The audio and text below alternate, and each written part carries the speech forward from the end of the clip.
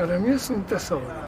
Apareció un reporte en el país sobre el manuscrito y la oferta de venta que se estaba haciendo y eh, me interesó mucho por el autor.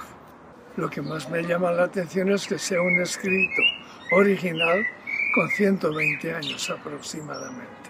Del escrito como tal, pues me llamó la atención la letra, que sí tiene una inclinación muy estilizada, muy clara, estilo Palmer, pero eh, con terminaciones de las letras un tanto imprecisas.